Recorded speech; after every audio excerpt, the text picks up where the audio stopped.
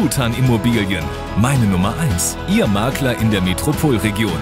Kutan Immobilien.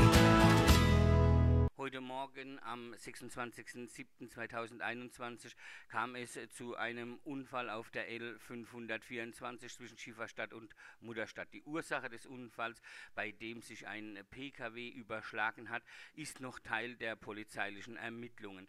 Glück hatte die Fahrerin, die nach ersten Erkenntnissen unverletzt blieb. Für die Dauer der Unfallaufnahme kam es zu leichten Verkehrsbehinderungen. Im Einsatz waren Feuerwehr, Schifferstadt, Polizei und Rettungsdienst.